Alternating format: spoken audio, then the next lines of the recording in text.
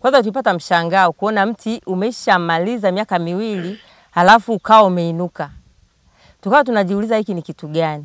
Kila mmoja akawa anaogopa mpaka hata hadi kumtuma mtoto ulikuwa unashindwa kumtuma mtoto. Lakini watu wa kijijini humu mambo mengi ni uchawi, hilo ndio ndio wanasimamia, sio kitu kingine, wanasimamia uchawi na mambo yao umesema uchawi. Ndio maana umekuta jana wakaleta mavivo, sijui wameweka makao, wameweka nini, kusudi tuogope, tukimbie, sijui kijiji, sijui tufanyeje. Ni baadhi ya wananchi wa kata ya Bwanjai iliyopo wilaya ya Misenyi mkoani Kagera wakiwa kwenye taharuki baada ya mti uliokatwa miaka miwili iliyopita kukutwa umesimama tena, huku mtaalamu kutoka chuo kikuu cha Dar es Salaam akitoa ufafanuzi wa kile kilichotokea. Kwa majina anaitwa Francisca Francis, ni mwanakitongoji wa kijiji Mishenye, kata Bwanjai.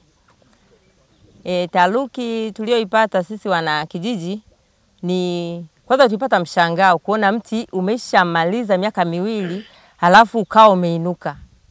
Tukawa tunajiuliza hiki ni kitu gani? Maana kila, kila mtu alikuwa anasema la kwake kuhusu huo mti maana mti hauwezi ukawa ume, ume, umeshalala chini halafu ukasimama tena ghafla. Maana tuliona kwamba mtu asubuhi ameingia pale amekata mti mara umesimama, ikawa imetupa taharuki, maana kila mmoja akawa anaogopa mpaka hata hadi kumtuma mtoto ulikuwa unashindwa kumtuma mtoto. Baada ya kuona hilo tukio, sisi tulimaanisha kwamba tuliona kama ni mazingaombe fulani, kwa sababu sio kitu cha kawaida eh.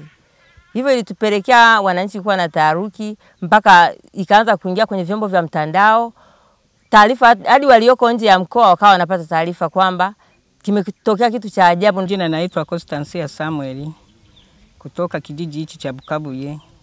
Mimi ndiye mwenyekiti wa kijiji hiki. Ulikuwa mwendo wa saa kama nane hivi, nilikuwa nimemaliza kula hapo, nimelala. Mtoto wangu akatoka, alikuwa anatoka kuwa- ku- kuwagawia mifugo chakula, akasema, bibi, njoo ukaone kuna mti ule kule kwa Tamode umesimama. Akasema, ule mti uliokauka tangu zamani? Akasema, ndio. Basi na mimi nikatoka pale nikatembea nikafika pale kwenye mti, kwa sababu sio mbali sana, nikaukuta kweli umeinuka. Ulivyoinuka jinsi ulivyokuwa umesimama, basi nikauchunguza vizuri, lakini huu mti ingawaji umeinuka, lakini kuna upa, kuna nini, kuna kaukuta, maana kule kule chini kulikuwa na shimo wakati ulipobanduka hivi na, na, na, na upepo kule chini pakabaki na ushimo, na ile mizizi yote ilikuwa juu na lile kule likolala ndipo walikuwa wanakata yale manani matawi pamoja na magogo, na walikuwa wanapasua kuni. Hata siku ile nasikia walipasua kuni asubuhi. Basi wakasema hiyo nani imeinuka. Basi nikaangalia nikaangalia nikazunguka nikazunguka, lakini mimi sikushtuka wala sikuwa na wasiwasi. Kasema hii ili gogo huku limekuwa lizito, ndio maana limeinuka. Lakini watu wengi niliokuwa nao pale ukawa ni mshangao mm, wewe unafikiria kweli ni uzito? Hapana, lakini kuna ule mzuri ambao hauna makovukovu. Tukaenda mpaka tukafika kwa mwalimu si ulikuwepo mti mwingine mzuri. Akasema unaona huu ni mzuri ambao unaweza ukatoa magamba yake ukatengeneza. Akasema ndio, huu nani mti unatumika hata huko Uganda unatumika sana. Akasema ndio. Basi lakini uzito wake lakini kwa vile nimekuwa hivyo, kwa kweli mimi nilivyoangalia hii mti umekuwa na uzito sidhani kama kulikuwa na kitu chochote cha kusema kwamba kina- ki cha ajabu, lakini kwa sababu ni kitu kimeanga- kimeingia kwenye kijiji lazima kitushangae.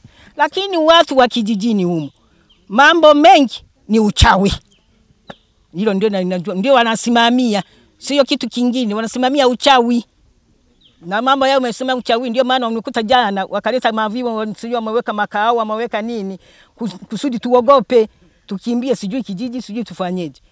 Mimi naitwa Profesa Nelson Boniface, e, naibu makamu mkuu wa chuo kikuu cha Dar es Salaam anayeshughulika na masuala ya utafiti.